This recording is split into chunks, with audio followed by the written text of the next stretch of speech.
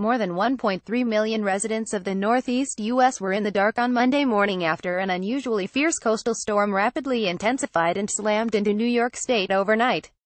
The storm knocked out power to more people across the region than any other storm since Hurricane Sandy hit exactly five years ago. Winds gusted higher than hurricane force from eastern Long Island to Maine, with a peak wind gust of 93 miles per hour recorded in Mashpee, Massachusetts, on the 6,288-foot tall summit of Mount Washington, New Hampshire, where the highest wind gust on Earth was recorded in 1934. The wind hit 129 miles per hour overnight on Sunday into Monday, the equivalent of a Category 3 hurricane. More than 1.3 million customers lost power, mostly in New England, the most since Sandy hit the region.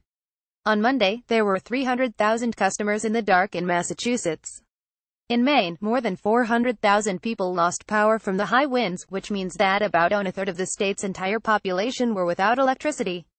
According to the National Weather Service, the extent of the power outage exceeded that of a crippling ice storm that hit there in 1998. The circulation around the storm pulled tropical moisture from as far south as the Caribbean directly north by more than a thousand miles, dumping tropical downpours on places like New York City, Hartford, Boston, and Portland, Maine.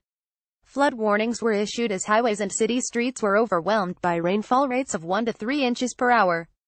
Because the storm moved quickly, rainfall totals were relatively limited, with peak amounts of near 6 inches in some parts of New York and Connecticut. The low-pressure area intensified rapidly enough to be known as a weather bomb, which refers to the process called bombogenesis.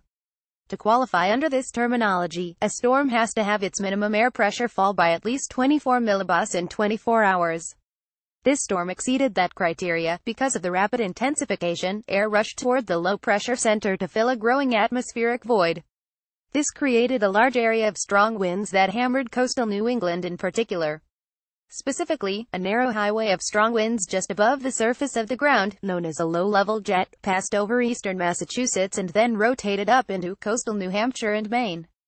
These winds occasionally reach down to the surface, resulting in damaging wind gusts. Here are some of the strongest winds recorded during the storm so far. Massachusetts 92 miles per hour in Mashpee, Connecticut 66 miles per hour in Groton, New Hampshire 129 miles per hour on Mount Washington, Rhode Island 69 miles per hour in Charlestown, Vermont 115 miles per hour in Stowe, Maine 72 miles per hour near Penobscot. The storm center was located over Quebec as of early Monday afternoon, but its circulation was roiling the waters of Lake Ontario and delaying flights across New England due to strong winds. Had this weather system occurred just two months later, though, it would have been a blockbuster snowstorm from Maryland to New York State.